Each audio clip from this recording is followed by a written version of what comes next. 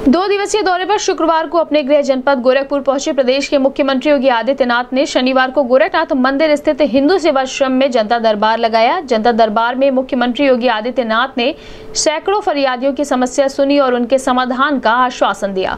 गौरतलब है कि मुख्यमंत्री योगी आदित्यनाथ शनिवार की सुबह गोरखनाथ मंदिर में परंपरागत ढंग से पूजा अर्चना के बाद फरियादियों के बीच पहुँचे और एक एक फरियादियों के पास पहुंचकर उनकी समस्याओं को सुनते हुए अधिकारियों को निर्देश भी देते रहे।